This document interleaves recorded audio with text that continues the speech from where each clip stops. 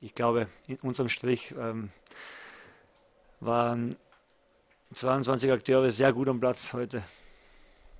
Und einer konnte das Niveau nicht so ganz halten. Also nach der 55. Minute und bis dahin war es ein super Spiel und ich habe mich vor allem darüber geärgert, dass äh, mit dieser zweiten gelben Karte, die Navi bekommen hat, fürs zweite, fürs zweite Foul, äh, dann eigentlich das passiert ist, was keiner sehen will, dass so ein Spiel kaputt gemacht wird.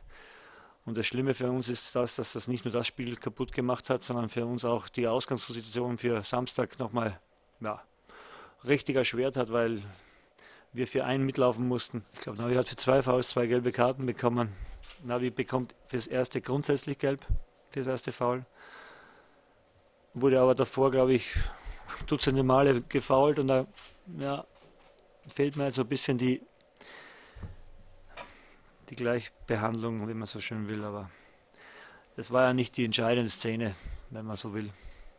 Entscheidender war vielleicht sogar noch die, die vorher war, wo er zwei aus drei Meter Entfernung einen Meter pfeift und ihn dann zurücknimmt, weil ein Linienrichter aus 40 Meter Entfernung es besser sieht.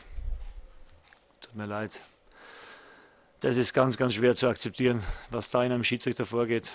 Weiß ich nicht so überzeugt, wie er war, als er den Elfmeter gepfiffen hat, hat er keine Sekunde gezögert.